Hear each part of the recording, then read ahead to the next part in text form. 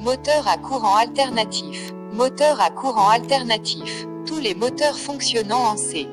A ont en commun l'existence d'un champ magnétique tournant produit par les enroulements du stator.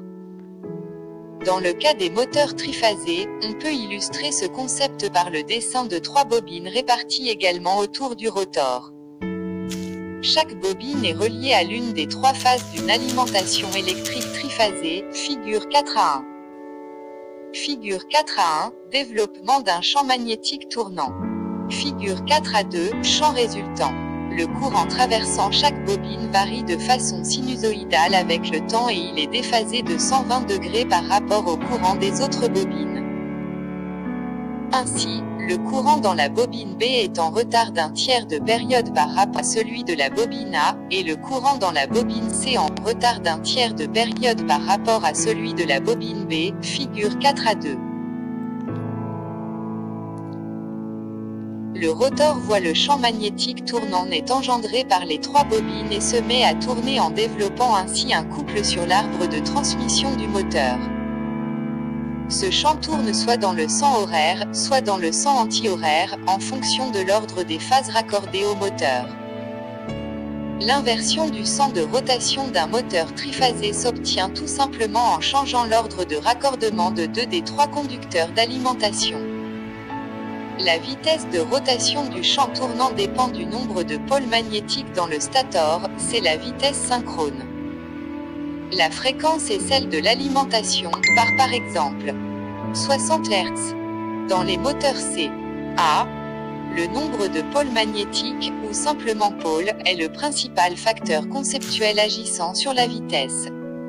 A, moteur à induction triphasée. Le rotor d'un moteur à induction ne tourne pas à la vitesse synchrone, c'est-à-dire à la vitesse du champ magnétique du stator, mais il existe un léger décalage temporel entre les deux vitesses.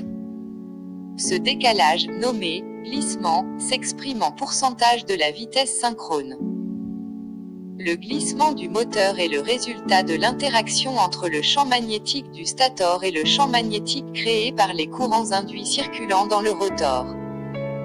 Les barres du rotor coupent les lignes de force magnétique et produisent ainsi un couple moteur.